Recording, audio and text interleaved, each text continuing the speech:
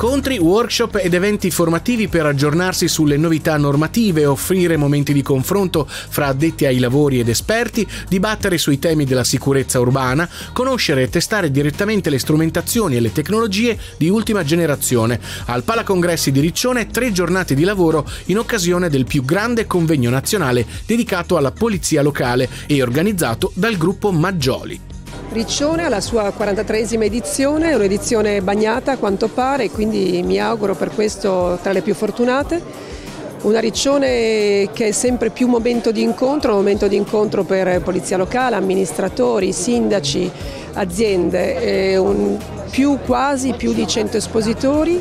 attesi 2000 partecipanti, quindi un momento topico di incontro, un momento in cui il gruppo Maggioli ritiene di essere portatori di quelle competenze, di quelle conoscenze che permettono a chi partecipa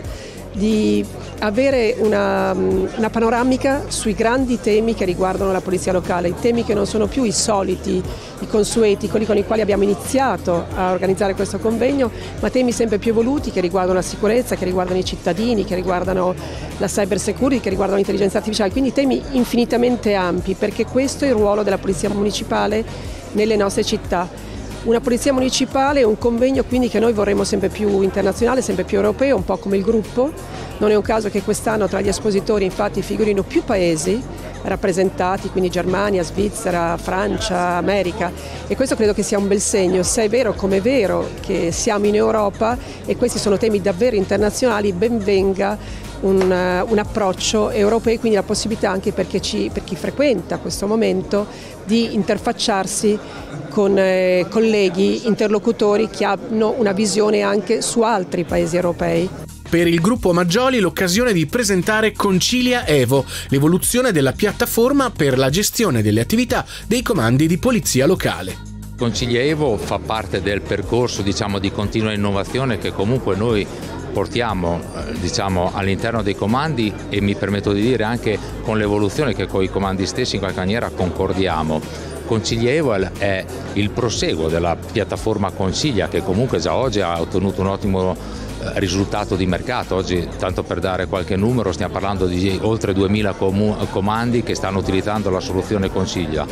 Concilievo è la soluzione verso il cloud, quindi parliamo di una soluzione cloud nativa che consenta ai comandi in qualche maniera di percorrere il percorso di trasformazione digitale che in qualche maniera eh, il PNRR ma l'Europa e quant'altro ci stanno chiedendo per far evolvere il nostro paese, per far evolvere i processi che gestiamo all'interno delle pubbliche amministrazioni, nel caso particolare di Concilievo nel percorso dei comandi della Polizia Municipale. Devo dire che questo percorso per noi è decennale da questo punto di vista qui ed è un percorso che facciamo tipicamente a braccetto con i comandi da questo punto di vista qui perché l'innovazione non può essere solo tecnologica come ho accennato su Consiglievo per quello che riguarda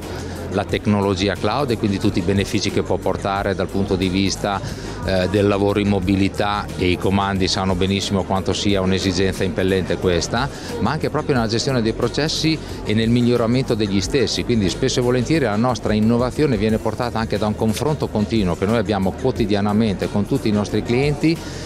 che anche accettando le critiche sostanzialmente ci aiutano a poter fare un percorso di crescita delle nostre soluzioni e poterle mantenere diciamo, a un livello di competitività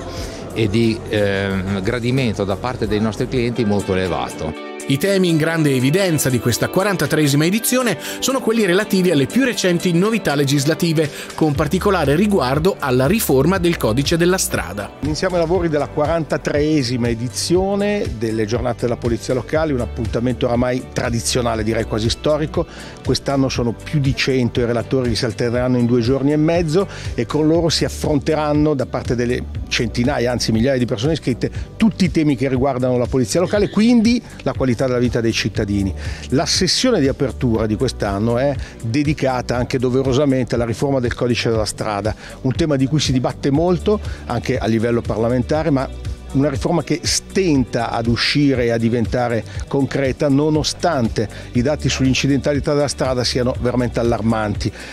Basti pensare che ogni tre ore nel nostro paese muore una persona e ci sono 77 feriti sulle strade. Questo dimostra l'urgenza di una riforma. Le polizie locali sono prontissime ad affrontare e interloquire anche su questi temi con le forze governative e da oggi qui ne dibattiamo intensamente. Gli autovelox spesso vengono visti dagli automobilisti insomma, come un nemico eh, dal quale stare alla larga, però sono, hanno anche una funzione molto importante per quanto riguarda la salvaguardia delle, delle persone e degli automobilisti, ma non solo. L'Istat indica una delle cause principali di incidenti stradali è quella della velocità. In questo momento c'è una battaglia fortissima, dobbiamo secondo me trovare un momento di pace tra cittadini, istituzioni, le regole sono state riscritte, credo che gli interventi soprattutto delle prefetture dove è necessario installare sia eh, assolutamente utile in un momento in cui però i morti sulle strade aumentano, gli investimenti di pedoni dovuti all'alta velocità, le fuoriuscite autonome, per cui credo che bisogna tornare a sedersi e pacificarsi, credo che sia più importante. Dall'altra parte le polizie locali sono impegnate, eh, ci sono oltre 50.000 operatori in tutta Italia che hanno voglia di dare più sicurezza stradale in questo paese. Attenzione puntata anche sul contrasto alla violenza di genere. Credo che sia fondamentale aggiornare il nostro personale, le necessità di intervenire tempestivamente a seguito di una denuncia proprio con i reati di violenza di genere eh, ha bisogno di formatori e di competenze specifiche. Lo stiamo facendo anche in questi giorni a Riccione e necessita un rapporto strettissimo con i pubblici ministeri. Ci sono degli accordi, delle convenzioni in atto anche con le associazioni per aiutare le donne, però serve formazione, quello è il punto fondamentale. Novità in arrivo anche per i possessori dei monopattini, finiti in passato al centro di dibattiti e polemiche. Oggi dovrò affrontare il tema della cosiddetta mobilità dolce, ma in particolare della circolazione dei monopattini a propulsione prevalentemente elettrica e anche in questa riforma eh, subiranno delle importanti novità. Importanti novità che riguarderanno in particolar modo l'uso obbligatorio del casco per tutti i conducenti, quindi non solo per i minorenni, eh, poi l'obbligo dell'assicurazione, l'obbligo dell'assicurazione è sicuramente un'innovazione eh, da più parte richiesta e poi avremo anche l'obbligo del contrassegno identificativo da apporre sul retro dei monopattini elettrici per renderli identificabili e quindi per individuare il responsabile della circolazione. Inoltre ci saranno notevoli eh, novità anche per quanto riguarda proprio la gestione del contrassegno perché ci sarà l'obbligo di comunicare ogni trasferimento di sede o di residenza dell'intestatario e quindi questo servirà per individuare il responsabile della circolazione anche ai fini della responsabilità solidale, quindi per notificare eventuali verbali in caso di violazione laddove il trasgressore non sia individuato, cosa che oggi sostanzialmente è impossibile. Poi ci saranno piccole modifiche anche per quanto riguarda le regole della circolazione, ad esempio i monopattini a propulsione prevalentemente elettrica, a differenza di oggi, non potranno assolutamente circolare fuori dal centro abitato. Per quanto riguarda invece i ciclisti, ci sarà anche qui una modifica di quelle norme entrate in vigore nel 2020 e 2021, ad esempio verrà imposto ai conducenti dei, dei velocipedi di tenere accese le luci in centro abitato anche di giorno, come avviene già ad esempio per i ciclomotori a due ruote, eh, oppure nuove regole per quanto riguarda l'obbligo di accensione delle luci nelle condizioni di scarsa visibilità che oggi è affidata all'articolo 68, se la riforma sarà approvata sarà affidata all'articolo 153, quindi ci sarà anche un aumento della sanzione. Durante la tre giorni si parla anche di infortunistica, videosorveglianza, privacy, tecniche operative e di difesa personale e nuove frontiere della tecnologia. 2000 i partecipanti che potranno anche visitare l'ampia mostra espositiva internazionale alla quale partecipano le maggiori aziende operanti nel settore. Giornate della polizia locale organizzate a Maggioli sono un punto di riferimento per tutti gli operatori del settore e ANCI come da tradizione anche quest'anno eh, partecipa attivamente con la promozione anche di riflessioni, dibattiti, relazioni